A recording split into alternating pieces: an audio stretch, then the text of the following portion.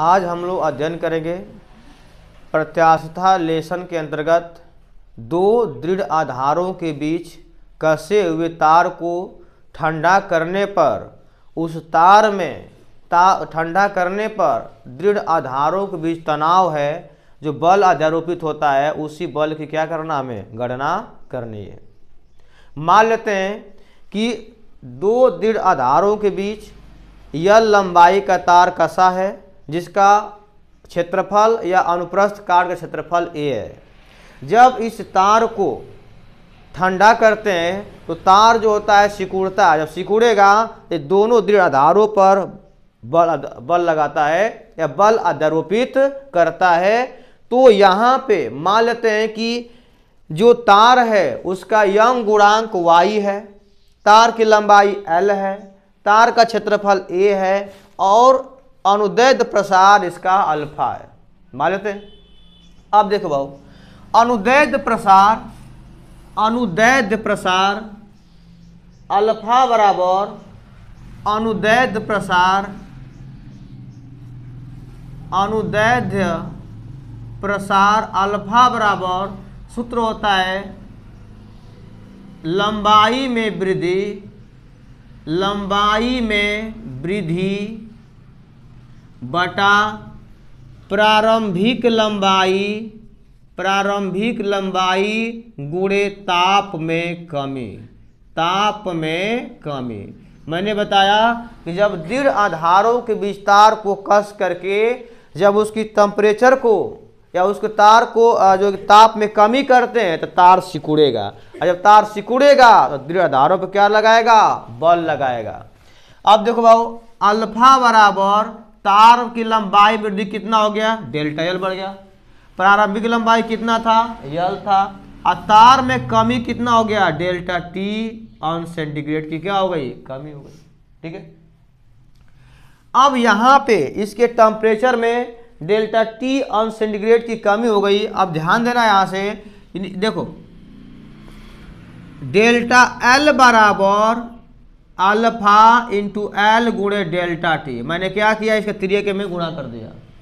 हाइयल को इधर ले आओ, ये बटम चल जाएगा तो डेल्टा एल बटा एल बराबर अल्फ़ा इंटू डेल्टा टी अब पता है कि लंबाई में वृद्धि, बटा के प्रारंभिक लंबाई सर्जी यह तब विकृति होता है। विकृति पढ़ाया गया ना?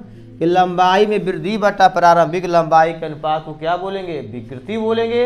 तो विकृति डेल्टा एल अपान एल बराबर क्या हो गया? अल्फ़ा इंटू डेल्टा टी हो गया। ऐसा में अब आपको ध्यान से देना यहाँ पे।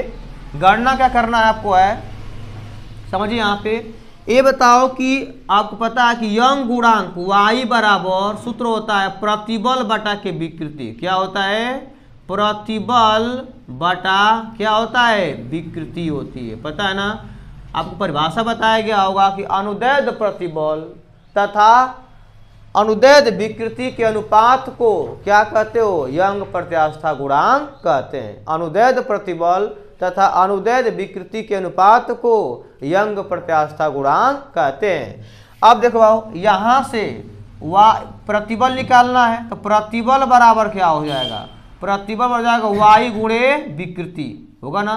वाई गुणे क्या हो जाएगा? विकृति। विकृति गुणा हो जाएगा यहाँ पे। विकृति।